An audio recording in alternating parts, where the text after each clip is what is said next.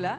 La cosa política se mueve hoy por unas imágenes exclusivas, las del misterioso jeque, al que la prensa señala de haber hecho todo el lobby para que Buenos Aires ganara la sede de los Olímpicos Juveniles de 2018. Es Ahmad Al-Fahad Al-Sabay, un multimillonario e influyente dirigente deportivo de Kuwait. Estas cuatro instantáneas fueron tomadas por un periodista de RCN justo afuera del Comité Olímpico, en Suiza, minutos antes de que se anunciara la ciudad ganadora. El próximo lunes habrá una cumbre uribista en Bogotá.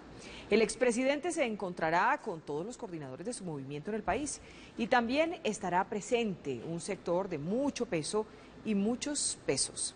Cerca de 250 empresarios tendrán un almuerzo privado con Uribe, aunque pusieron una condición, que sus nombres queden en el anonimato. La exigencia se debe a dos razones. La primera, que serían posibles financiadores de la campaña uribista y la segunda, que algunos de ellos no quieren dañar sus buenas relaciones con el presidente Santos. Ya estamos en la recta final de las elecciones de Cartagena y últimamente el debate se ha concentrado más en las polémicas que en las propuestas. Una de las supuestas denuncias contra Dionisio Vélez es por maltrato intrafamiliar.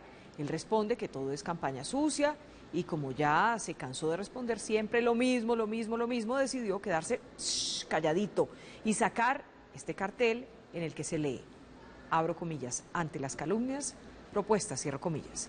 Les cuento ahora de un cambio de planes el que tendría en mente el presidente Santos para este 7 de agosto. Tradicionalmente, los jefes de Estado asisten a las ceremonias militares en el puente de Boyacá, escenario de las gestas de la independencia. Nos contaron que este año Santos conmemoraría esta fecha, pero desde Medellín. No estamos de acuerdo y que seguramente podrán hacer el evento del 7 de agosto en cualquier parte, pero nadie podrá olvidar la historia que el verdadero 7 de, de agosto se libró la batalla de independencia en nuestro departamento. Las declaraciones del exalcalde de Bogotá, Antanas Mocus, aquí en la cosa política, en las que aseguró que está pensando si regresa al Partido Verde, dejó pálidos a los integrantes de esa colectividad. No lo esperaban. Y ven poco probable, casi imposible, el regreso del hijo pródigo. Una llegada de Mocus molestaría a Peñalosa, quien está pensando en una candidatura a la presidencia. Bien, mi dato de cierre también tiene que ver con los verdes. La cosa política supo en primicia que el Consejo Nacional Electoral decidió que la curul que dejó Gilma Jiménez debe ser ocupada por el ex representante Rodrigo Romero y no por Mercedes Maturana, quien había renunciado al partido para aspirar a la alcaldía de Cartagena. La ponencia es del magistrado Juan Pablo Cepero y será oficial en los próximos días. Más noticias, Felipe.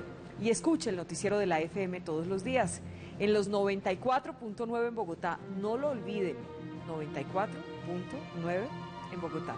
Y nos encuentran en www.lafm.com.co.